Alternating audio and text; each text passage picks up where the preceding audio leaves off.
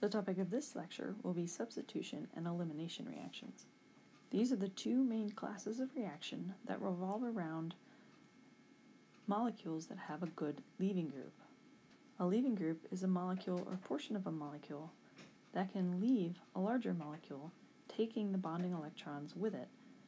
In a substitution reaction, another atom or portion of a molecule replaces the leaving group. Because the atom that does the replacing is a nucleophile, this is commonly called nucleophilic substitution. The general reaction involves a nucleophile, which has a lone pair of electrons and often a negative charge, although sometimes it's just a partial negative charge. Remember, a nucleophile only requires the presence of a lone pair of electrons that can act to form a new bond through donation to another atom. The other reactant required for a substitution reaction is an electrophile. The electrophile contains the leaving group. The nucleophile donates its electrons to form a new bond to the electrophilic carbon, the carbon bound to the leaving group, and the leaving group leaves, taking its bonding electrons with it.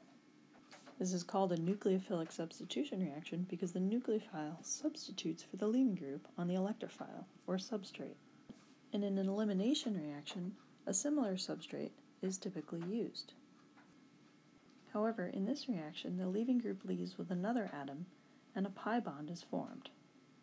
The substrate for this reaction will look the same as for the substitution reaction, but rather than a nucleophile, the other reactant will be a base.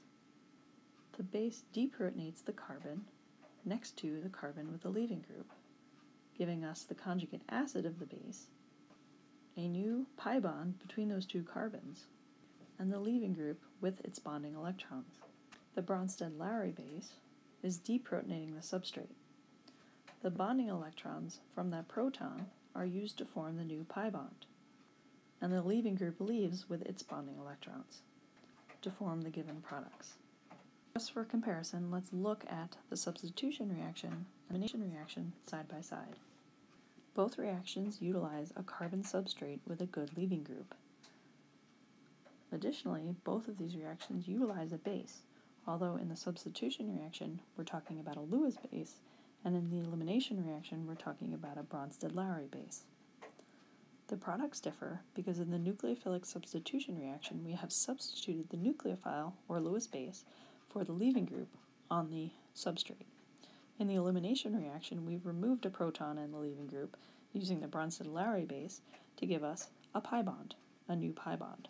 You should be able to tell the difference between these two reactions by recognizing the difference in the products.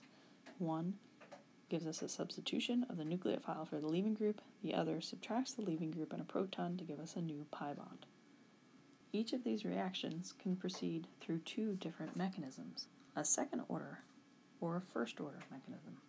In a first order mechanism, the transition state of the rate determining step involves only a single molecule.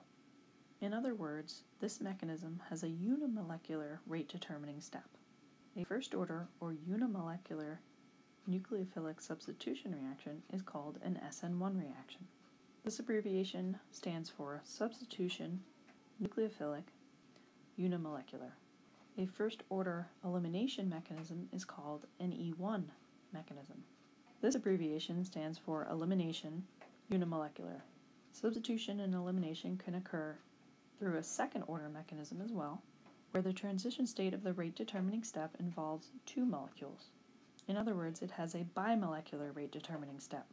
A second order substitution reaction is called SN2, which stands for substitution nucleophilic bimolecular and an elimination reaction that uh, proceeds through a second order mechanism is called E2, or elimination bimolecular.